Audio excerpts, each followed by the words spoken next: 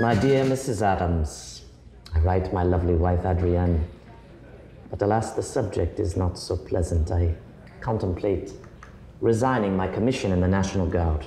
Indeed, sir. When is violence justified in this revolution? When is it uh, an agreeable time for the people to rise up in the streets and well, conduct violent acts? When they are claiming it is for the benefit of the people, of their rights and liberties, of liberty, equality, and fraternity.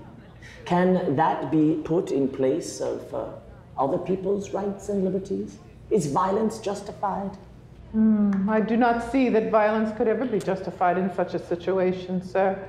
The French people have uh, drunk too heavily from the cup of liberty, and they have uh, given great license where it is, it is not to be borne, sir. The destruction of private property, the threat against citizens who have done no wrong.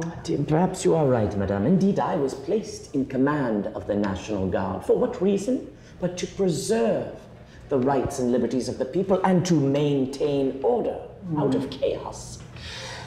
I suppose, madame, that uh, if the people feel that violence is justified, then the reasoning behind it is wrong. For example, it was on the 17th day of July of 1791 that uh, an assemblage of the people, of the citizens of Paris, had gathered on the Champ de Mars.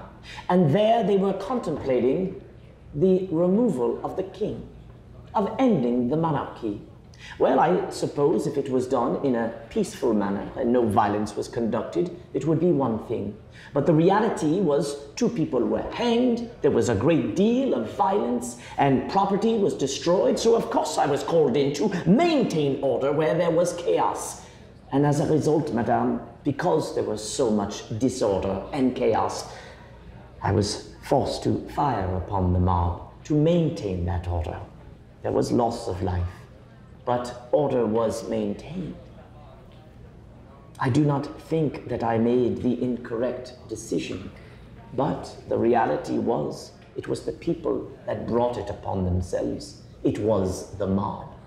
Indeed, I have experienced mob rule myself uh, in the early years of our own revolution when uh, my husband, Mr. Adams, was called to defend uh, British soldiers and their leader who had been accused of murdering American citizens.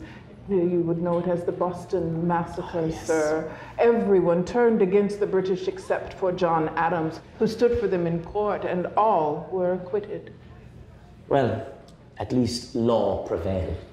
I fear that at this stage in my revolution, uh, well, law has, well, has hidden itself.